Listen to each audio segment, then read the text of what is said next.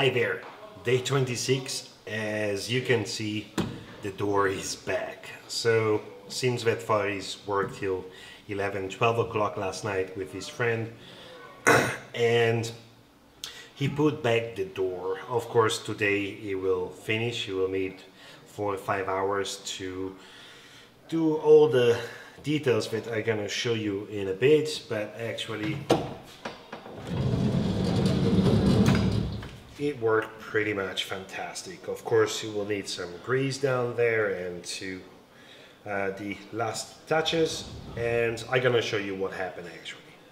So as I told you, it took almost a week to do this job. It has to be done really in a perfect way in order that the door, as you can see, just like perfectly and to close in the best way. There's still just two little things that needs to be changed.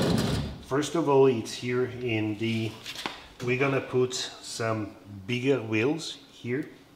Uh, so actually the door will go a little bit more up and it will close perfectly on this side and as well we're gonna change here at the bottom uh, there's a small rubber but actually when it closed it just go against the the body and it balance in this way the door so I put it in line.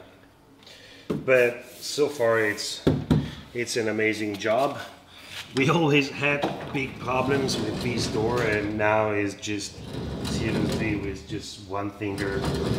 And I imagine that when we put here grease will be even better. So Faris told me that he will need four or five hours today in order to uh, adjust some things. And then of course he will put the step so we can eventually step inside the van. So great job, uh, very detailed and I'm really glad that it's done in this way.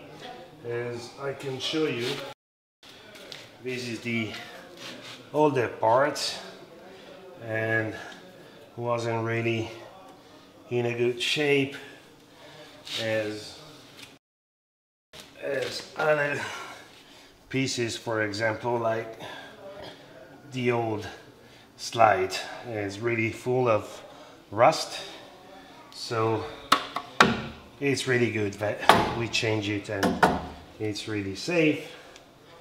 And I'm so happy to show you how I can close the door with one finger. So that's it for today. Short one short and sweet